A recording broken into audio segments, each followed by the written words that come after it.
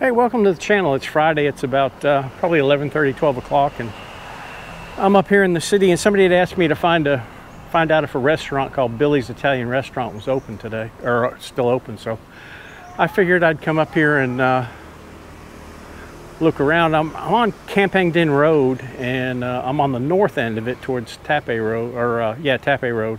But we're going to walk down the alleys here and see what we can find out. Uh, got a kind of a cool story for you today. Um, it's kind of kind of interesting, but it. Uh, hello, hello. No, I'm okay. I'm making a YouTube video. You want to be on YouTube? Say hello to everybody. How is business? Is business good? So-so. So-so, not real good? A lot of foreigners coming here now? Mm -hmm. Good. You're on YouTube. Say hello to YouTube. Hello, how are you? Thank you. I'll see you later. Bye-bye. Enjoy your... What are you eating? Wow. Wow. Fish. Yeah. Moo Namtok. Oh, nantak moo. Yes, Very good, yeah. I don't know English. Maybe pork. Pork. Pork. Yeah. I'll see you later. Bye bye. Bye bye. That's funny. Usually they don't like to be on camera and I don't like to intrude on them, but if they're going to yell to me, I'll I'll put them on camera. It's uh may be debatable whether I'm going to get anything done today because it's raining. But uh, we'll try to do. Maybe I might. Maybe I can stay under these canopies. It was raining real hard when I came up. Uh, we're going to get underneath here. I'll shut it off until the rain stops. Okay, it's just a light rain. Not too bad. It poured when I came up, but the skies look clear up here, so I figured I could get a walk in today and get a video done. But uh, anyway, the story is it goes back to 1995. There was a guy by the name of Steve Royce, and uh, he was a journalist in New Jersey. And uh, apparently, he was uh, working for a TV station, and he had won some awards and stuff. And, and uh, but he ends up quitting his job and at the uh, at the TV station. He goes out to California, and he starts working out there. Stays out there for a while, and as best as I can figure, he didn't do too well out there in California, so he came back to New Jersey and uh, he opened up a sports memorabilia shop and, and ran that for a while. And sounds like he uh, he didn't do too well at it, and uh, so he ends up closing that down. And he gets the big idea he's going to go back out to California and try to land another job. Well, he gets out to California and. Uh, couldn't find solid work out there in California as a journalist. And I'm going to stop here and I'm going to kind of explain how I'm going to tell this story. I'm going to kind of tell it in, in three different phases. One is going to be the phase that it happened, two is going to be the phase of what he says happened, and three is going to be my uh, analysis based on my past experience as a police officer, what I think happened. Well, here's Billy's Italian restaurant. And let me ask this guy if it's still open. Yeah, it looks open. Yeah, it's open. Yeah. Your restaurant open? Soon. Soon? Oh, but you're open every day? Uh, close on Sunday. Closed on Sunday, so you're you're in you're not COVID didn't shut you down. Uh, we we don't want it to. Good, good. I had I have a, a subs- I have a YouTube channel and I had a subscriber that wanted me to come by and make sure you were still open. Yes. Good. We're opening. Okay, great. All right, thanks a lot. Oh, Okay. Have a nice day. you too. So anyway, back to the story. He goes out to California and it's somewhere as far as I can tell it was somewhere in Hollywood, California. And he links up with a Asian gang. somehow or another. I don't know how you would do that. But uh, anyway, he links up with a with an Asian gang in in uh, in Hollywood, and then the next thing you know, he's on a flight to Bangkok, and he gets to Bangkok, and he meets up with supposedly the other end of the uh, the gang in Bangkok, and they set him up to fly to Amsterdam from Bangkok to Amsterdam and carry a load for him. Well, the, load happened to be uh, six pounds of heroin. So, I, from best I can tell, he stays there for a couple days and then he he heads to uh, Don Mueang, which would have been the airport at the time, and uh, he doesn't make it very far. They uh, they snatch him up and they catch him going through, uh, you know, going through the airport carrying six kilos of uh, heroin, headed for Amsterdam. Now, why he would be headed for Amsterdam, you know, I don't know. You know, there's no mention of any any way to get from Amsterdam back to, uh, you know, back to the United States or even back to Bangkok. But uh, anyway, he gets caught and they throw him in the jail, jail just like they do everybody else. Well,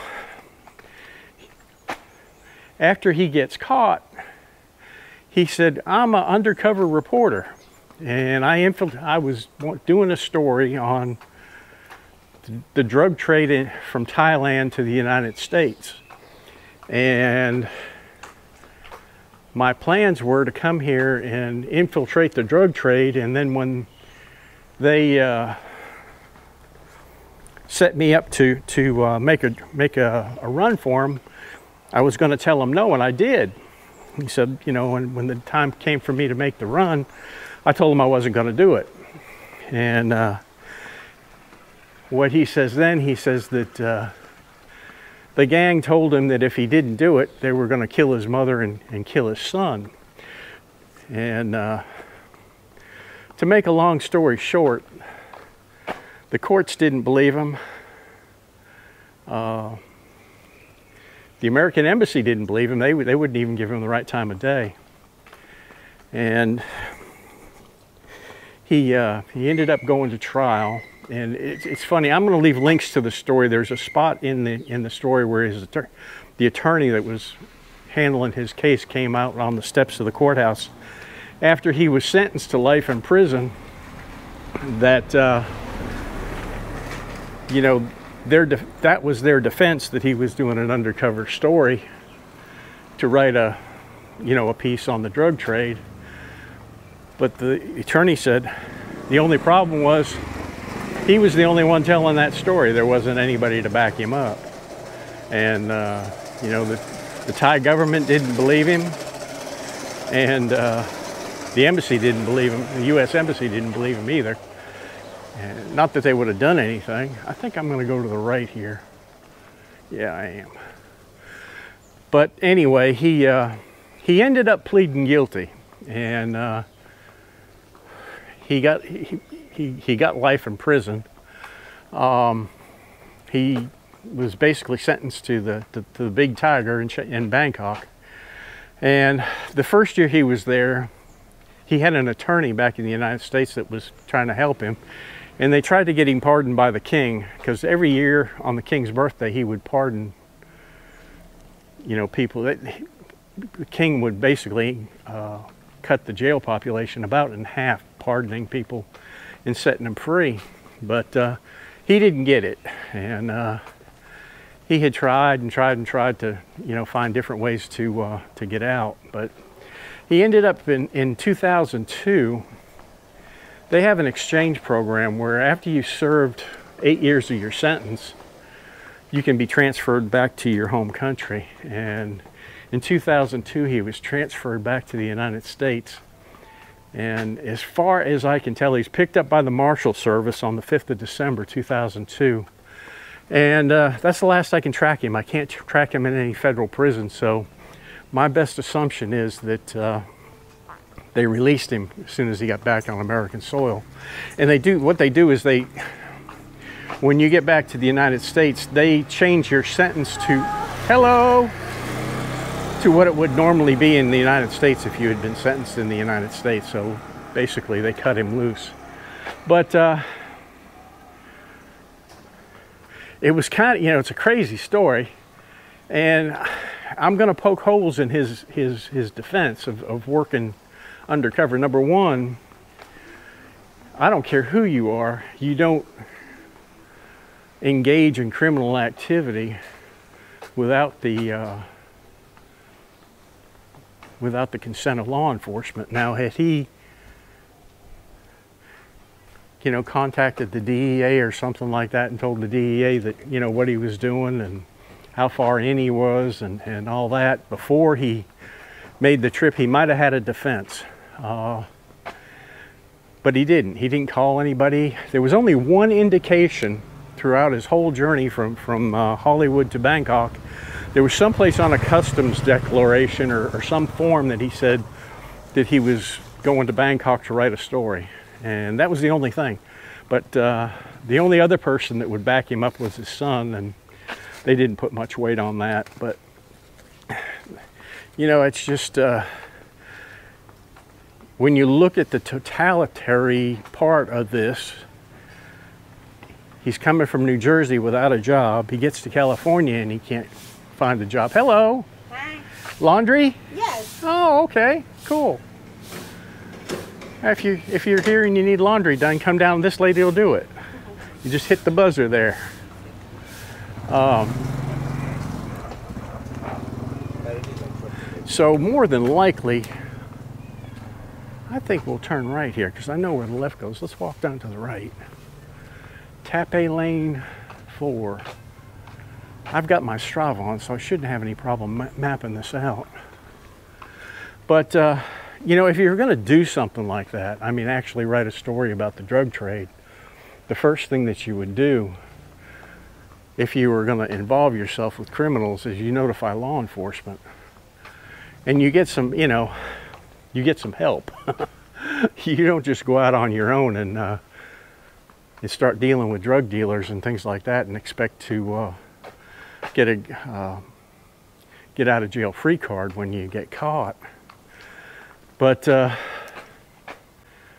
he didn't do that. He he didn't you know he didn't do anything. I mean, even when he got to the point where they were threatening him, had he notified the DEA or notified the embassy or the consulate, uh, you know, they would have helped him. And, you know, they might have got the guys that were, were smuggling the, you know, trying to smuggle the drugs out of the country. But he didn't do any of that. And the other thing that, that really, to me, throws a complete bullshit meter just peaked is when you're doing something like that and you're posing as somebody else, you don't let people know your true identity. So if they didn't know his true identity, how would they threaten his mother and father? My thing is, is they knew right, you know, he was upfront about who he was, upfront about what he was going to do, and uh, got his ass caught, and then had to think up an excuse real quick. Now he may have thought up the excuse before he committed the crime, and thought that would get him out of it, but boy, he was dead wrong. And uh, how he managed to do eight years in, in the Big Tiger, I don't know. Um, there, I'm going to leave. Look, look. There's a. He did a uh, interview with AP. I can't post it because it'd be copyright, but I'll leave links to it in the description, and, and you'll see him. The guy's kind of a sleazeball. Uh, you know, he's talking through the bars to the reporters, and and uh, you know, I just I just get the sleazeball feel when I, you know, when I see him talking. But uh, when he got released in, in 2002 and sent back to the States, um, one of the news media asked him what he thought about the American consulate, and he didn't have anything good to say about them. And, and I don't know what he expected. You know, I mean, it's just like this, this basketball player that's caught in Russia. She's the product of her own, you know, own stupidity you bring drugs into a foreign country and uh, you know you get caught, you're on your own. The American government can't get you out. They're not supposed to even get involved in it. Now, if they do in this situation with this with this basketball player in Russia, uh, then they needed to need to do it for every person that's that's incarcerated, you know, in different countries around the world that's American. They just don't need to pick one person and, and help them out. Uh, you know, that wouldn't be fair, but uh, I'm going to pause the video for just a second here. I keep forgetting to tighten up. I keep forgetting to tighten up my belt when I go out walking like this. Now, I think there's a guest house down here that I had wanted to show everybody. And the last time I came down, he was closed down, but he said he was opening, and I think it's down here. Really a nice guy. We'll walk down here and see see if he's here. But uh, you know, even when we had reporters back at, at our department that would they'd kind of skate the the borders trying to uh, find out about criminal activity they were always careful to uh, to let us know what they were doing. And most oftentimes than none i'd tell them you just stay away from it you know don't get involved in it it's not your job. And you know when we catch them you can write a story on it but uh, oh i can't even get through here. No this isn't it. This isn't it. Different alley. Let me walk back out this way. I'll shut it off till i get back out on the street. Here we go but uh, you know my advice was always to uh, tell them to uh, stick to writing stories. If you're that hard up for a news story, you know, write about something else. Yeah, this is neat. I don't know what this guy's guest house is. Oh, Mi- Mikasada. Wait a minute. Mikasa. Huh. Hello. Oh, this looks nice. You can get your food right down here.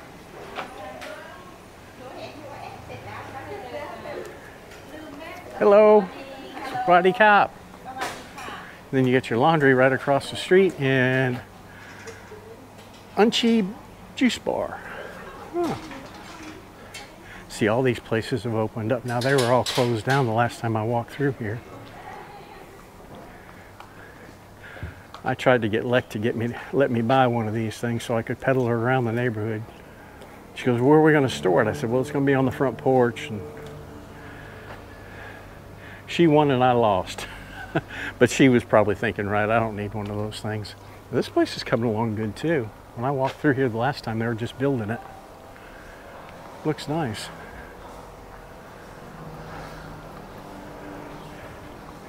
Sixty-four house. Artwork, art tattoo, and we'll come out here on Thapae Road.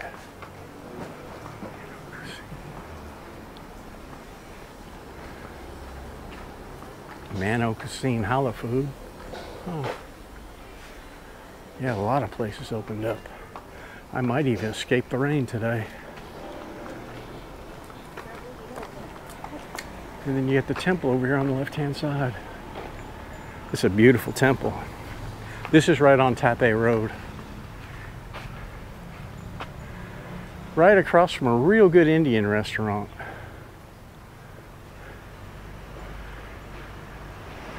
Walk in here a little ways for those of you who haven't seen this place before. It's really neat. Definitely check this temple out. It's right on Thapae Road. Uh, probably about 200 meters east of uh, Thapae Gate. It's on the right hand side. Definitely check it out if you come here. Now let's see if I can't get out of here.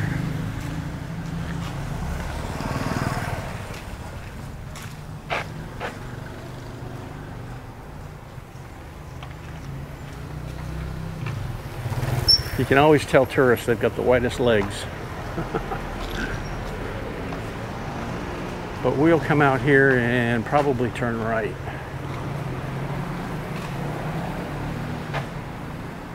Big old tree.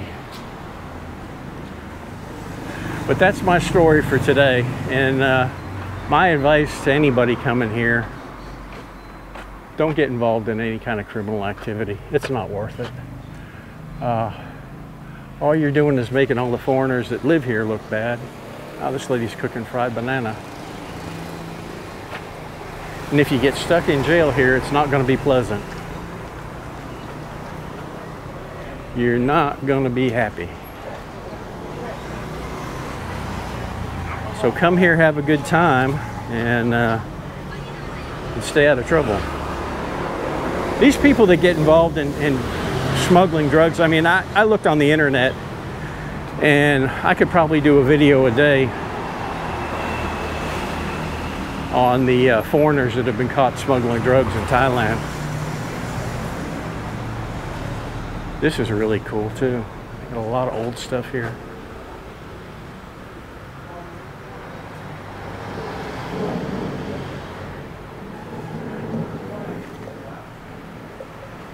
That guy over there's having his lunch right there on the sidewalk. Gateway Coffee Roasters. Huh, I've never noticed that before. It's up on the second story.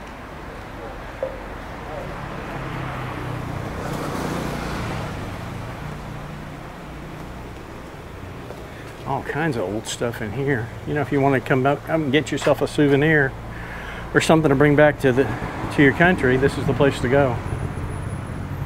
Now, I'm not sure about Buddha statues. I don't know if you can take Buddha statues out of the country. They say you can't, but uh, I don't. I don't know how how that works. But you got other stuff here that you can get. Pretty neat. Knives. I don't think you can take a knife out. I don't think. Uh, I think immigration or customs would enjoy that too much.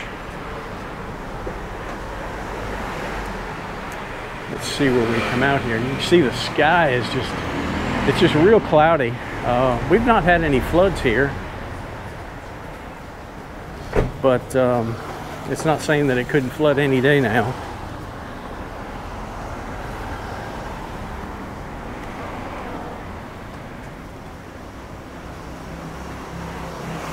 Little lady looks like she's selling coffee on the side of the street.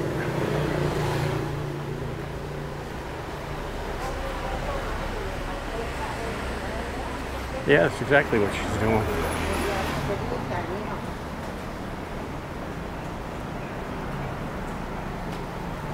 Chinese medicine, I believe. Yeah, Chinese herbs and medicine. That place, I don't know what they're going to do with it.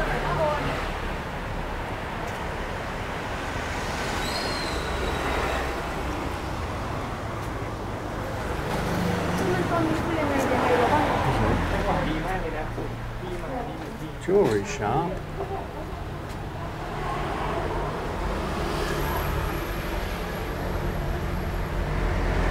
Huh. Really not bad prices on silver either. Sterling silver.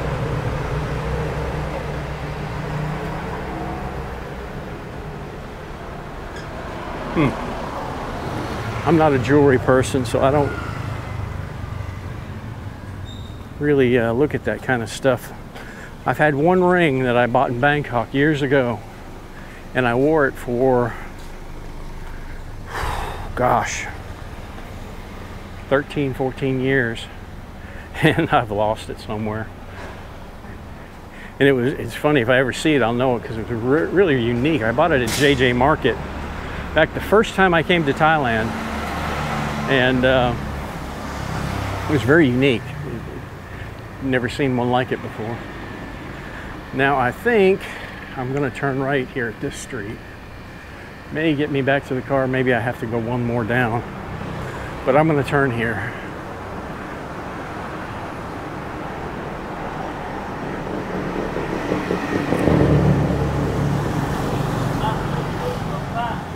Okay, walk. Walk in. Exercise because I have big tummy. Oh. Thanks, though.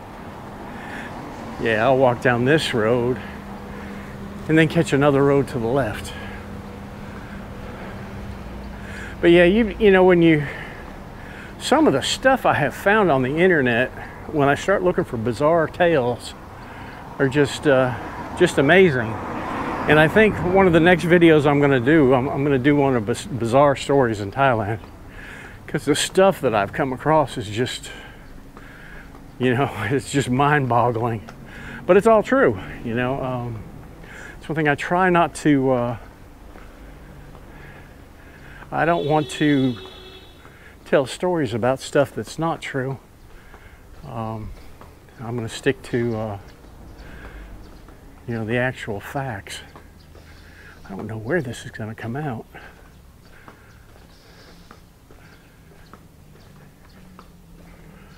Bartha's Village. I think I, I may have already, no, I don't think I've walked by here. I'll go left down here. A lot of places to get your clothes done. I don't know if that goes through or not. I don't believe it does. Hello? Does that go through? Does that go through all the way to the next road? Yeah, yeah. Okay, thank you. How you doing? Yeah. oh, wow, that's pretty. That is cool. Let's see where this takes me. I've not been back through here. Uh, he says it goes through. I don't think it'll go through, but we'll try. May go back here to this, just to this hotel. I don't know. We'll find out. It's beautiful back here.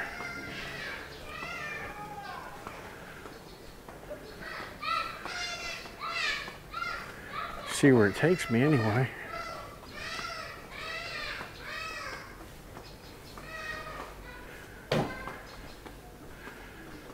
May take me back on that road I was on before.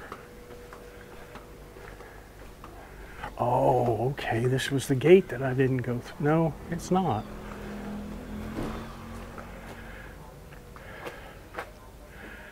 Let's go this way. I look back that way. Nope, I'm gonna go this way.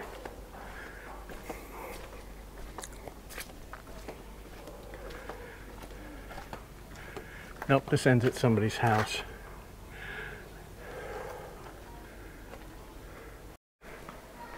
All right, let's see where we're going here.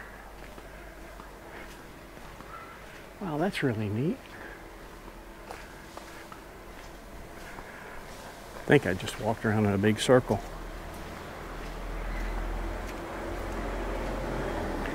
We'll find out as soon as I get to the street here.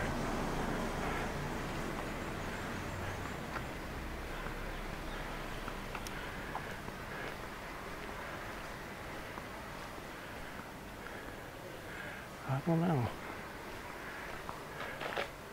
Yeah, I did. All right. Well, listen, I'm going to close this video out, video out now, and uh, I appreciate y'all checking it out. And uh, watch for the live streams; they're coming. Uh, I got some of this stuff in yesterday, and I played with it a little bit. So, Lek and I should be doing live streams probably by sometime next week, or maybe even the weekend if we get some spare time. But I appreciate it. Remember, click like, subscribe to the channel, leave me some comments, and uh, I'll see you on the next one. Bye bye.